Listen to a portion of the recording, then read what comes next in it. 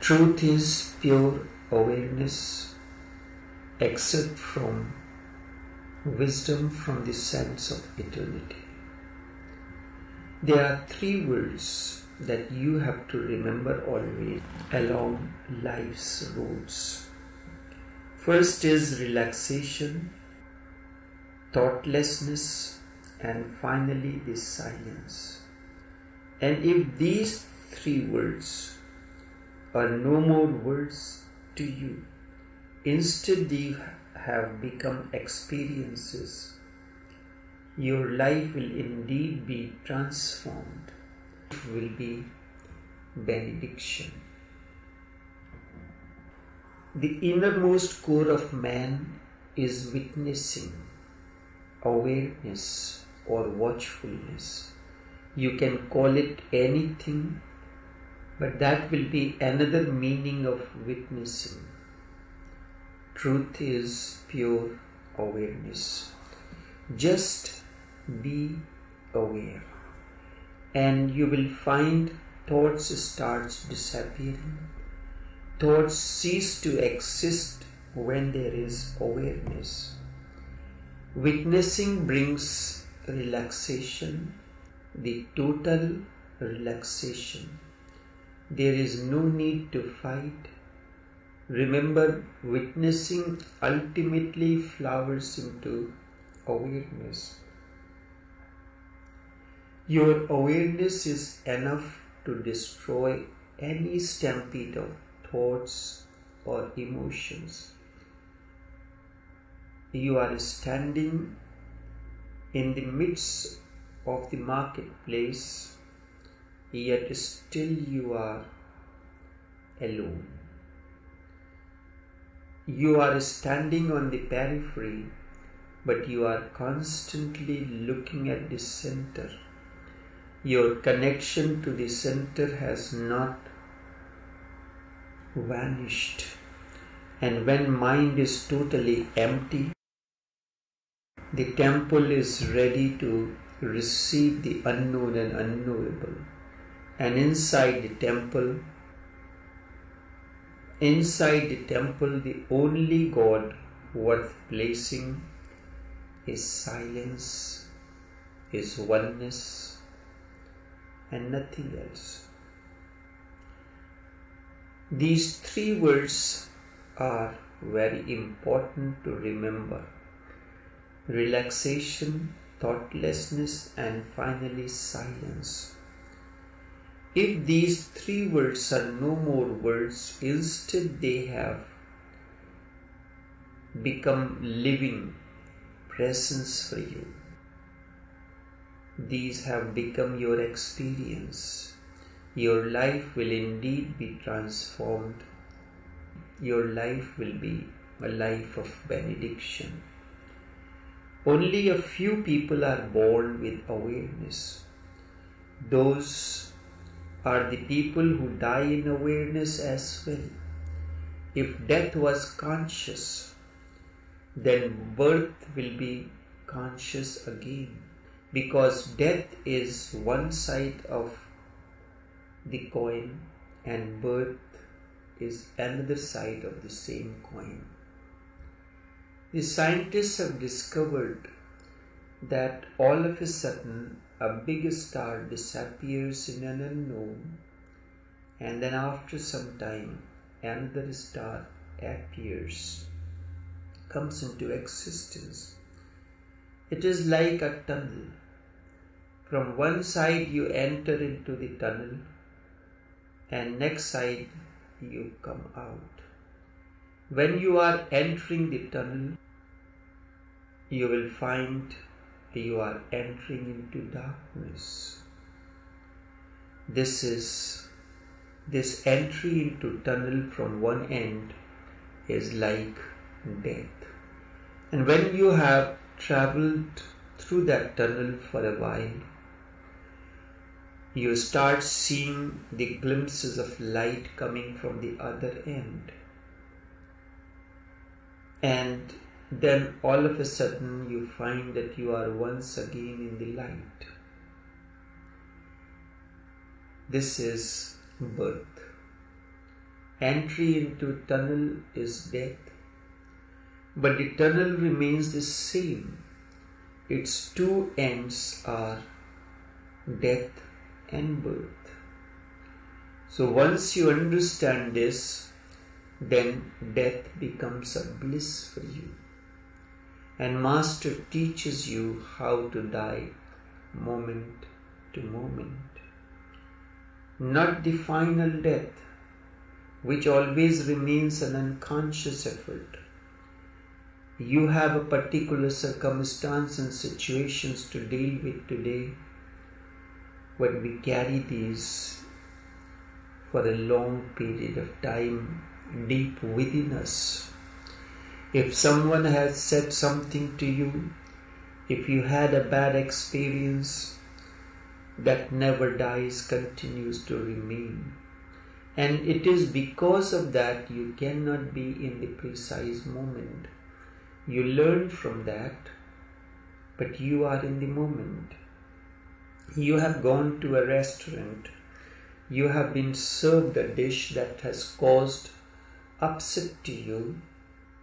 The memory of that lingers. That does not mean you do not go to the restaurant.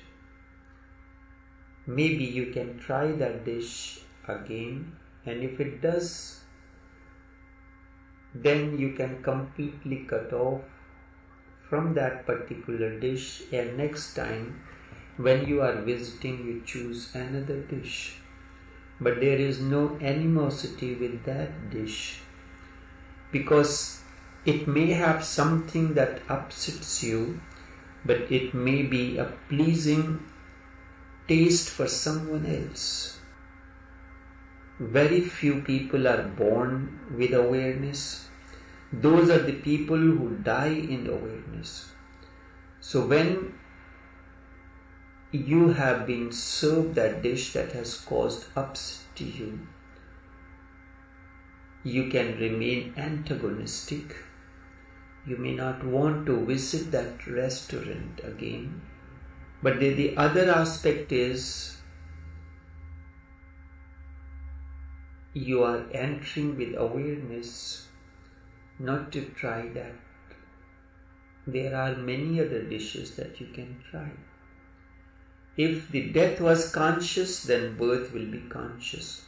Because death is one side and birth is the other side of the same coin. And awareness is the greatest alchemy. Just go on becoming more and more aware, and you will find your life starts changing for the better in every possible dimension. This will bring great fulfillment, and this fulfillment leads to the ultimate. We are in the season of the Hindu festival of lights. On this occasion, we light many diyas or lamps. It can be an ego trip that I light so many diyas and my lamps were lit whole night. But if there is awareness, you will remember the message of Buddha. We are trying to bring the lights into the environment and in the life of others. What about bringing light in your own life? Buddha continued his sermons for 40 years. When he was ready to enter into Mahaparinirvana, someone asked, What is your message? Buddha said, My life has been a message. And the life of a master is a life of awareness. Awareness is his message. Be in harmony with all that is and all that is happening. If you ask Jesus what was his message, his message was, Let thy will prevail. And the moment you accept, Let thy will prevail, there will be relaxation. There will be a state of thoughtlessness. There will be silence. So Buddha said, My life has been a message, and still you are asking. And he said only one word Appo Deepo Bhava. Be a light unto yourself. What shall you gain by lighting a thousand lamps outside? That is an outer manifestation. Is the inner lamp is lit within you?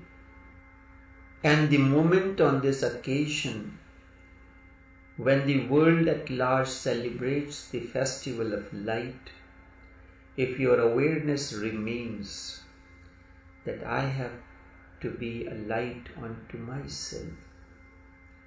When a problem or circumstance or situation arrives that need awakening, do I have to get see my path through my own lamp that I am lit, that is lit now? Or I have to seek the light from another lamp. And this is what happens we start following,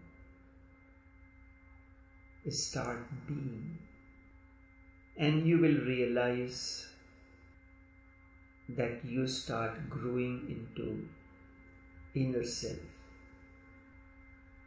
Your life becomes a light unto itself do not have choice anymore. Be in a state of choiceless awareness.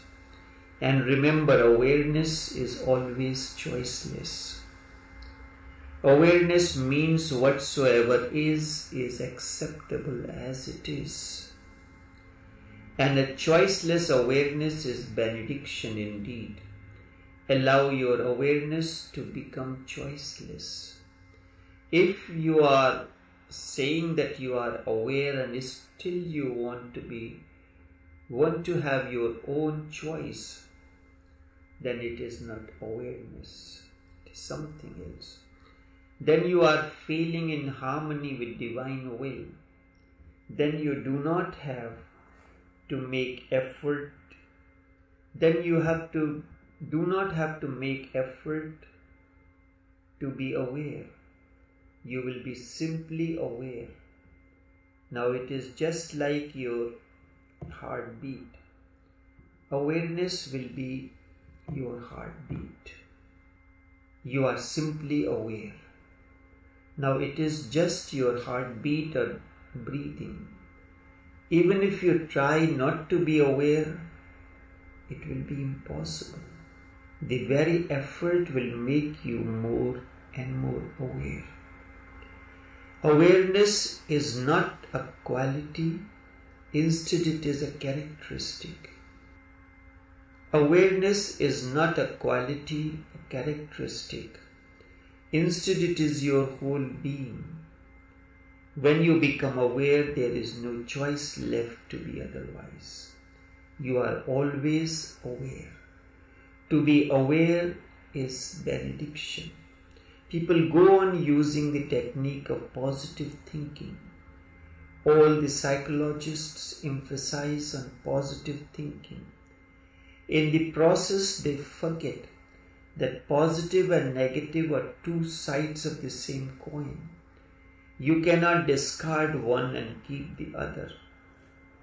Simply, you can take an example of electric bulb or car battery it has simultaneously the positive and the negative poles. They are not antagonistic to one another. Instead, they support one another. And when the current flows from one to the other and neutralizes one another, then illumination happens. The two stay together and vanish together as well. This is not a technique that trans- transforms you. It simply represses the negative aspect of your personality. It is a method of choice. It cannot help in awareness. Indeed, it goes against awareness. Awareness is always choiceless. Therefore, I am absolutely against positive thinking. If you are not following a worldly path, if you are not following the spiritual path, you can say positive thinking is good. For a matter of talk, you can say, but deep down you know positive and negative are not separate from one another. They are two sides of the same coin and both are necessary to neutralize one another. If there is positive current coming in and the negative terminal is loose, the illumination will not be there.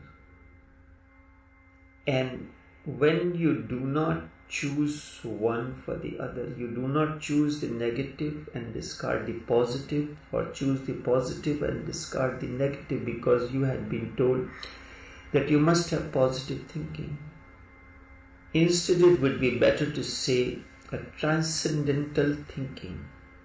You will be surprised that if you do not choose, instead remain in a choiceless awareness, your life will start expressing something which is beyond both positive and negative. In fact, it is higher than both. So you are not going to be a loser. It is not going to be negative. Also, it is not going to be positive. Instead, it is going to be existential. It will be transcendental. If you want to remain totally free, then do not choose. That is where the teaching of choiceless awareness comes in. Why the Master insists just to be aware and not to choose. Because the moment you choose, you have lost your freedom. You are left with only one part and when you remain choiceless, your freedom remains total. So there is only one thing be totally free, and that is choiceless awareness. Everything else is limited. Never choose. If you choose, you will be in the quagmire. Do not choose. A choiceless awareness is the goal. Just remain aloof, but do not choose. The moment you choose, you have fallen into the trap of the world or into the trap of the mind. Because mind is the world and world is the mind. Whatever you choose, you will repent because the other will remain and haunt you always. If one needs absolute freedom, then choicelessness is the only way that you have to live. Awareness means you come with an inner light, you move fully alert and awake. Each step is taken in awareness, and awareness is light, awareness is waking. You are walking, coming, sitting, sleeping, eating, making love, or doing anything. Do everything in total awareness. In Buddhist monastery, Buddha emphasized on mindfulness. When someone asks, What is your way? Are you a philosopher or a thinker? Buddha said, I am a physician. The person asked, What do you do? He said, I eat, I walk, I talk, I sleep. The man said, This is what we all do. Buddha responded, How many of us are aware of it? when we are walking, when you are returning from your work, are you aware that your car is moving towards your house or steering moves mechanically? You are not even aware and your uh, steering moves towards the house. That is why for mindfulness or for awareness it is said the moment you start seeing the glimpses of your house, you start saying your prayers. Let this house be filled with thy light. And you are going to enter into a lighthouse, a light box. If you are aware, if you speak with awareness, and awareness comes from the inner being, it flows from the inner being towards others Awareness is an inner quality of consciousness. It has nothing to do with closed or open eyes. Walk with awareness, eat with awareness, breathe with awareness. In the absence, ego remains the way of life. Remember, ego is nothing else but condensed unawareness. And when you become aware, by and by that condensed unawareness that we call ego disappears. It is as if you have brought a lamp into the dark room and the darkness disappears the moment light comes in. Awareness is the lamp. This is why Buddha's message is be a light unto yourself. When you listen with total awareness, then listening becomes possible. Even if you have heard a single word or a single sentence, that is more than enough to transform your life. You don't need the Holy Scriptures. One word alone is enough to bring awareness into you or transform your life. But for that, there has to be awareness. When you listen with total awareness, then listening becomes possible. The body may sleep, the heart may also sleep as well, and mind can go to sleep, but you remain awake. Remember, you are nothing but awareness. Everything else is a false identification. Awareness is your nature. The body is your abode. Mind is your computer. And awareness is you. It is your very being. Walk, but make walking a meditation walk knowingly. Make eating a meditation. Anything that you do in life, make it a meditation, means that you are doing the thing. Whatever you are doing, whatever comes your way, you are doing it meditatively, with full of awareness. Breathe, but let your breathing become a constant meditation, and that is what zikr is. When we start doing the kalma, how many breaths, then it becomes an exercise in awareness. Breathe knowingly. When the breath goes in, watch it the breath goes out, watch it again in that situation, in that state. Where would you have time to think? Where would you have time to entertain thoughts of various kinds? The breath goes out, watch it again. Then slowly and slowly you will become aware of breathing. And this is what the Sheikh in the Middle East told Leon Lefort that I taught Gurdjieff how to breathe. Breathing with awareness, incoming and the outgoing breath.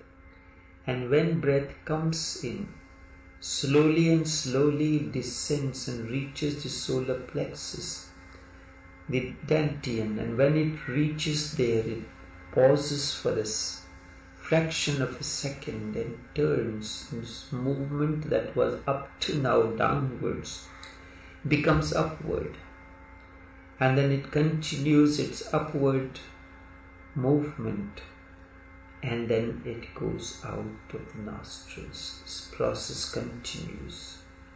This is breathing. Then slowly and slowly you will become aware of breathing. And this will bring alchemical change. Eat with, eat with full awareness. Take a bite.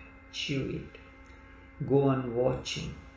Let the watcher be there in every moment whatsoever you are doing, it is not important what, are, what you are doing. The question remains that of awareness. If you are aware, simple act becomes meditation. If awareness is the way, then meditation is the flowering. Aware, if awareness is the seed, then meditation is the ultimate flowering and then one day meditation will lead to ultimate flowering. For awareness, you need not go to the mountains or in the caves or anywhere else. Your life gives you enough opportunities to be aware. Every moment as you traverse through life's roads, circumstances and situations come that give you tremendous opportunity. Someone insults you, listen to it in full awareness and you will be surprised. The insult is no more an insult. You may even smile. It does not hurt. It hurts only when you receive it in a state of unawareness. Somebody praises and appreciates you Again, listen with awareness. And then nobody can persuade you to do foolish things. Nobody can bribe you. In that state, flattery becomes impossible. You will smile at the whole nonsense of it all. Listen, watch, be aware.